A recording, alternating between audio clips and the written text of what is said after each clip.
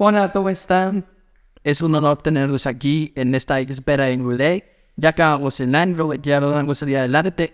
Yo espero con toda la seguridad y, y deseándoles toda la prosperidad, toda la bondad, que este año haya tenido un excelente ciclo que cada una de las lunas llenas les haya traído misericordia, armonía, eh, hayan podido pasar un buen tiempo con su familia.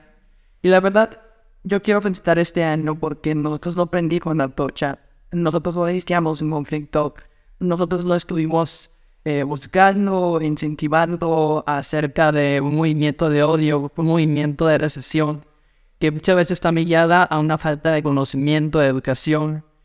Yo quiero desearles un enorme abrazo, solamente aquí de, pues igual que nosotros, ¿verdad? Que una persona cualquiera que está interesada, que está buscando eh, una conexión con cada uno de sus grupos, con cada uno de sus círculos de sabiduría, de sus maestros, de sus deidades en sí, bueno, todas las creencias que tienen.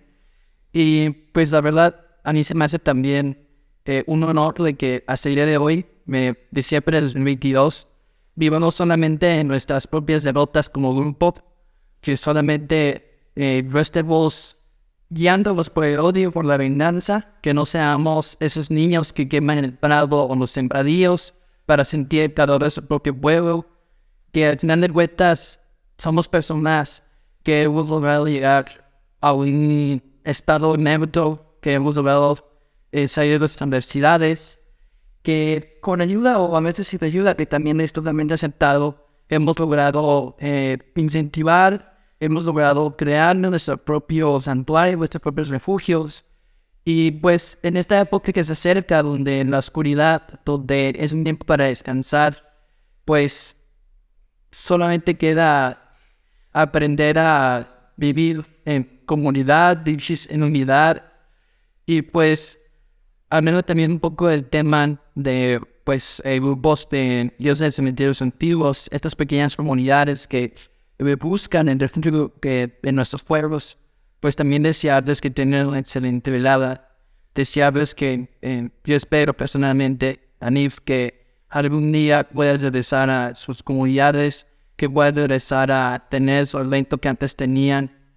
Y pues nada, eh, espero que la diosa y que todas las diferentes manifestaciones que tiene, eh, pueden estar presentes en, este periodo tan especial y, no importa en qué creas, no importa cuáles son tus valores, no importa cuál es tu pensamiento. Yo siento que ahorita estamos viviendo el mejor periodo para poder compartirlo, para poder eh, enseñarlo, eh, para ser esa parte de educadores, pero tampoco estar lejos de, de querer escuchar o de querer acompañar actividades a otros grupos. Entonces, pues, eso sería todo de mi parte. Muchas gracias. Feliz Jubilee.